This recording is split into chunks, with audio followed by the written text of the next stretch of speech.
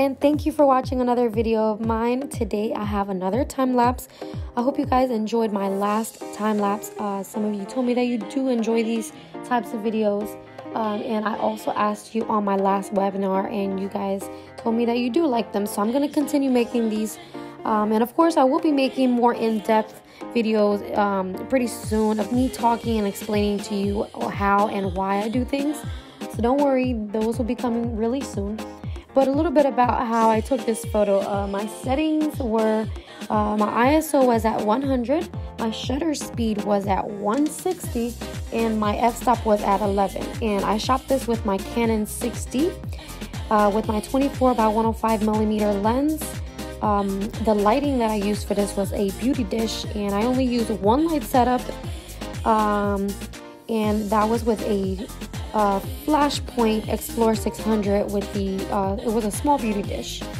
But yeah, I hope you guys enjoy this time lapse and please leave any comments down below um, of what you want to see next. Thank you.